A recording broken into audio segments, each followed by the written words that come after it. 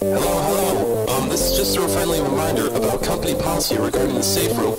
At no point should a customer go inside.